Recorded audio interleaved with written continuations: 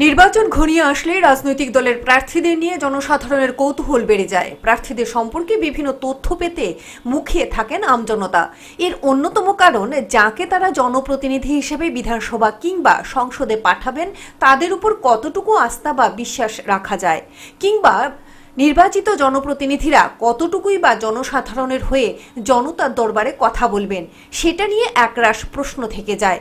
এর পাশাপাশি প্রার্থীদের সম্পত্তি সংক্রান্ত বিষয়েও জনমানসের কৌতূহল থেকে যায়। তাই দু হাজার উনিশ লোকসভা নির্বাচনের সামনে দাঁড়িয়ে রাজ্য রাজনীতিতেও এই ইস্যু যথেষ্ট চর্চিত হচ্ছে রাজনৈতিক মহলে। এগারো এপ্রিল পশ্চিম ত্রিপুরা আসনে ভোট গ্রহণ। এরপর আঠারো এপ্রিল পূর্ব ত্রিপুরা উপজাতি সংরক্ষিত আসনে ভোট। আর এই ভোট গ্রহণকে সুষ্ঠু ও অবাধে সম্পন্ন করতে নির্বাচন কমিশনের তরফে যাবতীয় প্রস্তুতি সেরে নেওয়া হয়েছে। এই অবস্থায় দাঁড়িয়ে মাত্র কদিন আগে সংবাদ মাধ্যমে প্রকাশিত পশ্চিম ত্রিপুরা আসনে বাম প্রার্থী শঙ্কর প্রসাদ দত্তের রাতারাতি লাখপতি থেকে কোটিপতি হয়ে যাওয়ার খবরে এক দফায় আলোড়ন বয়ে যায়। সাফাই দিতে গিয়ে বাম প্রার্থী জানান, তার মৃত ভাইয়ের সম্পত্তি উত্তরাধিকার সূত্রে পাওয়ায় এবার সম্পদের পরিমাণ বৃদ্ধি পেয়েছে। শঙ্কর দত্তের পর পূর্ব ত্রিপুরা আসনে বাম প্রার্থীও সম্পদের দিক দিয়ে কোটিপতি বলে হলফনামায় তথ্য দিয়েছেন।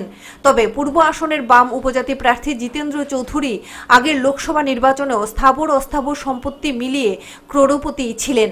যদিও উত্তরাধিকার সূত্রে রাজ্য রাজনীতি তাকে কোটিপতি হিসেবেই চেনে এবং জানে। জিতেনবাবুর সাবরুমের আদি বাড়িতেও প্রচুর পরিমাণ জায়গা সম্পত্তি রয়েছে।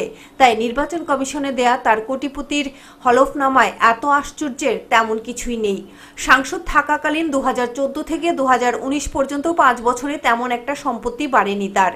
চোদ্দ লোকসভা ভোটে কমিশনকে দেয়া এফিডেভিটে তার ব্যক্তিগত স্ত্রী এবং দুই কন্যার পদেও সমস্ত স্থাবর অস্থাবর সম্পদের পরিমাণ তিনি দেখিয়েছেন। এক কোটি আটষট্টি লক্ষ আটত্রিশ হাজার চারশো সাতাত্তর টাকা সাতাশ পয়সা।